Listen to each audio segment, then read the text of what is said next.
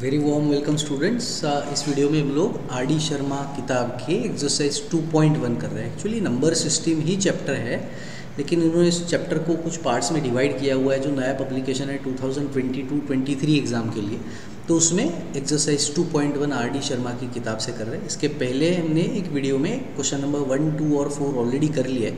Question three कर रहे हैं। उस, उन क्वेश्चंस को मैंने डिस्क्रिप्शन बॉक्स में उसकी लिंक डाली हुई है उस वीडियो की। तो देखते हैं अब ये क्वेश्चन कैसे करेंगे? Question number three if x y a b are positive real numbers prove that तो हम लोग को प्रूव दैट वाला क्वेश्चन दिया हुआ है। तो देखते हैं उसमें से फ़र्स्ट क्वेश्चन कैसे करेंगे? तो सबसे पहले तो हमको क्वेश्चन क्या दिया है? X raise to a upon x raise to b whole raise to power c multiplied by x raise to b upon x raise to c multiplied whole raise to power a multiplied by x raise to c upon x raise to a whole raise to power b हमको show करना है कि this is one right तो मैंने इसका सिर्फ़ left hand side लिख लिया, मुझे answer is equal to one दिखाना है। तो left hand side should be equal to right hand side correct तो अब इसको सॉल्व करने के अलग अलग तरीके। मैं सिर्फ़ एक इसमें से, ये जो पहला हमारा ब्रैकेट है, बस उसी को हम लोग सॉल्व करेंगे और बाकी का आंसर डायरेक्टली सिमिलरली करके लिख देंगे। ज़्यादा मेहनत करने की ज़रूरत नहीं है एग्ज़ाम में भी ऐसे कर सकते हो।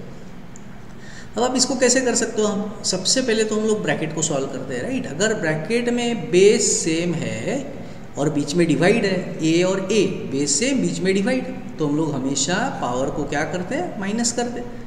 तो अगर मेरे पास a raise to m divided by a raise to n होगा तो मैं क्या करूँगा? A raise to power m minus n तो ये ब्रैकेट जब मैं सॉल्व करूँगा तो मेरा आंसर क्या आएगा? X raise to power a minus b whole raise to power c है.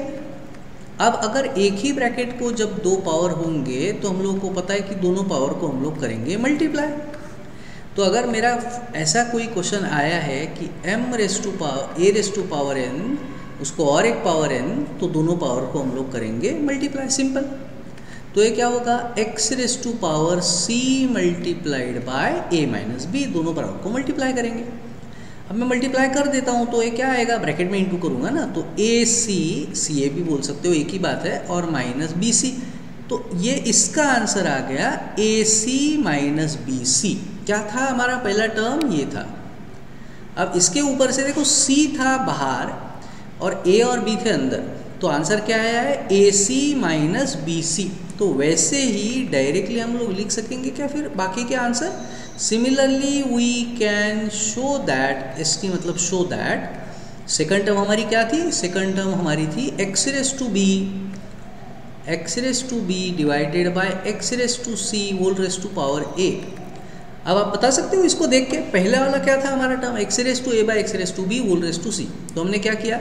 X raise to power a c minus b c तो ऊपर के पावर के साथ पहले एक बार सी को रखा माइनस करके बी नीचे के पावर के साथ सी आया हुआ है। ऐसा आंसर आया है ए सी माइनस बी सी तो वैसे ही इसमें करेंगे तो क्या आएगा answer x raise to a b minus x raise minus a c बस हो गया। सेम वैसे ही थर्ड वाले का लिख लेता हूँ। एंड जो तीसरा वाला है, वो क्या था हमारा? थर्ड वाला था x raise to power c upon x raise to power a whole raise to b तो ये क्या आएगा? X raise to b c minus a b तो तीनों के ही अभी आंसर हमारे पास है। और हम तीनों को उनको क्या करना था? मल्टीप्लाई तो अब मैं तीनों को ही मल्टीप्लीकेशन के फॉर्म में लिख रहा हूँ। आप देखिए, इसको अच्छे से ध्यान दीजिएगा। तो इसको तीनों को मल्टीप्लिकेशन के फॉर्म में लिखूँगा तो ये क्या आएगा? पहला हमारा आंसर क्या था? X raise to a c minus b c multiplied by दूसरे का हमारा आंसर था x raise to a b minus a c multiplied by तीसरे का आंसर था x raise to b c minus a b अब अगर बेस सेम है और बीच में मल्टीप्लिकेशन है तो पावर को हम लोग ऐड करेंगे राइट सो पहला power a c minus b c plus दूसरा power a b minus a c plus तीसरा power b c minus a P अब क्या आएगा answer minus b c plus b c cancel minus a c plus a c cancel plus a b minus a b cancel तो क्या है answer x raise to power zero anything raise to power zero is nothing but one तो हम लोग इसके आगे के step में हमने लिखा होता। है this is nothing but x raise to power zero therefore the answer is one as anything raise to zero is nothing but one so हमारी लेफ़्ट हैंड साइड की वैल्यू वन आई और राइट हैंड साइड तो हमको question में one ही था। हमको यही तो प्रूव करना था कि left hand side is equal to right hand side है और राइट हैंड साइड उन्होंने ऑलरेडी हम लोगों को वन ही दे के रखी है। Therefore we have proved that left hand side is equal to right hand side left hand side is equal to right hand side proved तो ये हो गया स्टूडेंट्स हमारा क्वेश्चन एक बार देख लीजिए, हमने क्या किया? मैंने एक बार फिर से इसको शॉर्ट में समझा के देता हूँ ये हमारा क्वेश्चन दिया हुआ था ऐसा, हमने सिर्फ़ एक ब्रैकेट लिया, उसको सिंप्लीफाई किया। पहला ब्रैकेट था x raise to a by x raise to b whole raise to c base same था, बीच में डिवाइड था। पावर माइनस कर दिया, ये आया x raise to a minus b और उसको ये बाहर का पावर सी था, वैसे के वैसे इसमें लिख दिया ये वाले स्टेप में अब जब एक संख्या को दो दो पावर है एक्स को पावर ए माइनस बी भी है और उसको पावर सी भी है तो दोनों पावर को इंटू करते हैं हम लोग। तो हुआ x raise to power c into a minus b इसको इंटू कर दिया। ब्रैकेट को इंटू करना पड़ेगा ना तो ये होगा x raise to a c minus b c जैसे हमने पहले टर्म का आंसर निकाला, उसी को लॉजिक लगा के दूसरे और तीसरे टर्म का लिख लिया। पहले का कैसे आया देखो एक्स रेस टू ए था एक्स रेस टू बी था, नीचे और सबको ऊपर पावर सी था। तो हमारा आंसर क्या आया था? ए सी माइनस बी सी मतलब ये ए सी माइनस बी सी तो उसी को देख के बाकी के हमने आंसर लिख लिए। और जब दोनों के आंसर हमने लिख लिए डायरेक्टली तो उन तीनों के टर्म्स के बीच में करना क्या था? मल्टीप्लिकेशन था। तो मैंने तीनों टर्म्स को यहाँ लिख लिया, तीनों के बीच में मैंने मल्टीप्लिकेशन डाल दिया अब क्यू के बेस से में और बीच में मल्टीप्लीकेशन है तो पावर को हमने कर दिया ऐड तो बेस को वैसे ही लिखा पावर को ऐड कर दिया तो हुआ x raise to power zero और फिर आंसर आ गया, किसी भी संख्या को पावर ज़ीरो तो आंसर वन और हमारा आर एच एस तो वन ही प्रूव करना था। तो हो गया आंसर हमारा प्रूव तो स्टूडेंट्स मुझे लगता है आप लोगों को क्वेश्चन आराम से समझ में आ गया होगा। सेकंड क्वेश्चन करते हैं। अब इसी में से दूसरा क्वेश्चन कैसे करना है? अब इस क्वेश्चन में हमको क्या दिया है? One by one plus x raise to a minus b plus one by one plus x raise to b minus a is equal to one. इसको भी is equal to one prove करना है। मैं एल एच एस लिखता हूँ, फिर question को हम लोग स्टार्ट करते हैं। One by one plus x raise to a minus b.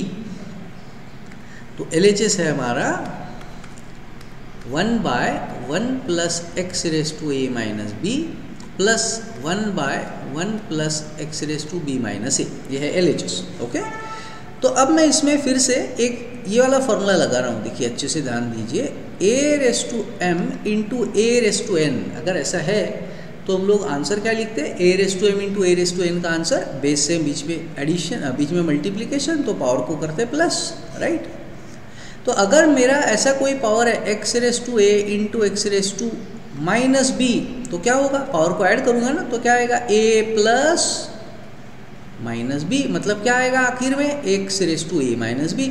इसका मतलब ये जो x raise to power a minus b है, इसको मैं ऐसे लिख सकता हूँ क्या? One by x raise to a into x raise to minus b, ऐसे लिख सकता हूँ करेक्ट वैसे ही फिर मैं दूसरे टर्म में भी इसको लिखता हूँ, one by x raise to b into x raise to minus a मुझे लगता है ये स्टेप आपको समझ में आ गई है।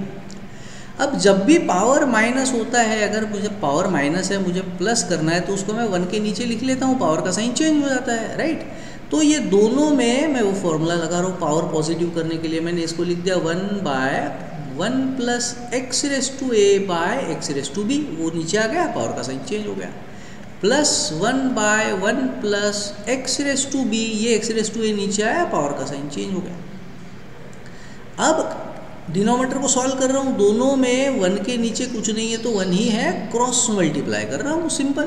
तो क्रॉस मल्टीप्लाई करूँगा तो क्या आएगा? One divided by cross multiply मैंने किया x raise to b plus x raise to a upon x raise to b दूसरे इसमें क्या आएगा? फिर से वैसे ही हम लोग दूसरे ब्रैकेट के लिए कर रहे हैं। ऊपर है वन और डिनोमीटर में क्या आएगा? क्रॉस मल्टीप्लाई करने के बाद x raise to a plus x raise to b whole divided by x raise to a अभी एक्स रेस टू भी यहाँ ऊपर चले जाएगा वन के साथ मल्टीप्लाई हो जाएगा, ये यहाँ पे मल्टीप्लाई होगा। ये समझ में आया ना कैसे होगा? One by a upon b है तो एक्चुअली ऊपर सिर्फ़ वन ही है। तो वन ही है तो इसका मतलब क्या है? एक्चुअली वो वन बाय वन है, नीचे है ए बाय बी तो जब चार संख्या आएगी तो ऊपर की दोनों वैसे ही लिखेंगे डिवाइड का मल्टीप्लाई करके इसका रेसिप्रोकल करेंगे तो ये आएगा बी अपॉन ए मतलब सादी भाषा में बी को चले के चले गए ऊपर। तो वही मैं यहाँ पे कर रहा हूँ तो एक्स रेस टू बी ऊपर गया, नीचे क्या आया? X raise to b plus x raise to a plus sorry हाँ प्लस ही है, दोनों के बीच में मैंने यहाँ गलती से मल्टीप्लाई दे दिया था प्लस यहाँ पे भी एक्स रेस टू ए ऊपर गया तो ये हुआ x raise to a upon x raise to a plus x raise to b अब देखिए, जो दो टर्म्स है हमारी, दोनों में डिनोमीटर सेम ही है क्या? अगर डिनोमीटर सेम ही है तो फिर तो आंसर ही आ गया ना, एकदम आसान, ये तो ऐसे हो गया ना one by two plus three by two is equal to four by two denominator को तो वैसे ही लिखेंगे। सिर्फ़ ऊपर का ही ऐड करेंगे तो ये आएगा x raise to b plus x raise to a नीचे भी तो वही है, जगह सिर्फ़ जग बदली है। टर्म्स तो वही है x raise to a plus x raise to b x raise to a plus x raise to b तो ऊपर और नीचे के दोनों ब्रैकेट सेम है, कट गए तो हमारा एलएचएस का आंसर क्या आया? वन और आरएचएस क्या दिया था हमको क्वेश्चन में? हमारा क्वेश्चन का आरएचएस भी वन ही था। तो देयर फोर हमको वही वही तो आंसर प्रूव करना था L H S equal to R H S तो हो गया हमारा आंसर दिस इज़ प्रूव्ड तो ये हुआ स्टूडेंट्स बहुत ही इम्पोर्टेंट क्वेश्चन हमारे आर डी शर्मा के किताब के, इस टाइप के क्वेश्चन अपनों को एग्ज़ाम में ज़रूर आएँगे। मुझे लगता है आप लोग को आसानी से समझ में आ गए होंगे दोनों क्वेश्चन अगर आपको कोई डाउट है या फिर आपको कोई और क्वेश्चन मुझसे समझा के चाहिए तो प्लीज़ आप कमेंट बॉक्स में जाके ज़रूर बताइए मुझे। एक्सरसाइज नंबर बताइए क्वेश्चन नंबर डाल दीजिए। मैं आपको ज़रूर वो क्वेश्चन जल्दी से जल्दी सॉल्व करके देने की कोशिश करूँगा। और अगर आप लोगों को वीडियो पसंद आता है तो प्लीज़ आप ज़रूर चैनल को सब्सक्राइब कीजिए, अपने दोस्तों के साथ शेयर कीजिए। Thank you so much for watching take care bye bye see in the next video students